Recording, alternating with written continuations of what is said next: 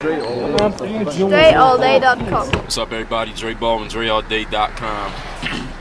this week's motivation is about paying the price in a figurative sense. And paying the price is for anything that anyone wants to do. You know that there's certain actions you got to take to make make those accomplishments happen. When that's what paying the price means. For example, when a person says they can't do something, you ever hear somebody say, "I want to do this or that or third thing, but I just can't do it."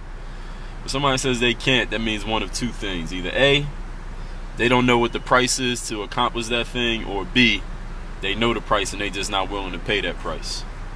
For example, you take a person that want to lose weight and they like, yo, I want to lose weight, but I just can't lose weight. As hard as I try, I just can't lose weight. Now we all know, all y'all that are athletic, you know if somebody wanted to lose weight, there's certain actions they, they should take and certain things that you probably do yourself that they could do that will help them get in shape.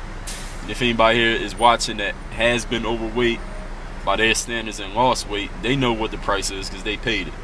If you want to lose weight, there's a certain price to pay, right?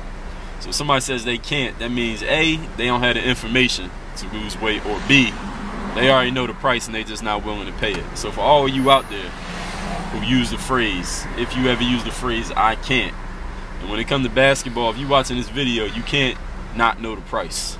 Because if you're watching this video, that means you know who I am and you heard me talk, you see me do certain things. You know the, what the price is if you want to be good at basketball. There's a certain price to be paid and it's been put out there. So you already know it. So you can't say you don't know the price. It means you're just not willing to pay it. And you can apply this to anything you're doing in life if you want to say you can't do it most of the time people just not willing to pay because information nowadays is everywhere. Anybody can get information that don't cost no money. You ain't got to know nobody. You ain't got to go nowhere special. The information's there. You just got to pay the price. And most of the time it ain't money. That's your motivation for this week. Work on your game. DreAllDay.com. You want to add a guaranteed 10 inches to your vertical, not a maybe 10 inches. A guaranteed 10 inches to your vertical. Go to DreAllDay.com slash jump. Get the jump manual. When you get it, I'm going to give you five free hoop handbooks or any free DVD. All you got to do is email me the receipt. DreAllDay.com slash jump. Get your bounce up.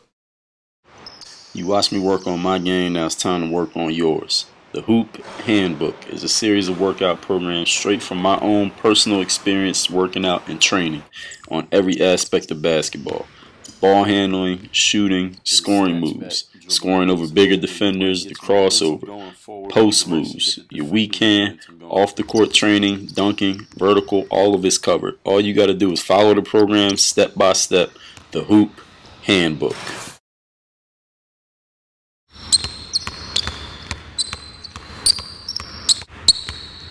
Bit, and as he comes back to your right, you just reach the ball right over his head and finish the shot.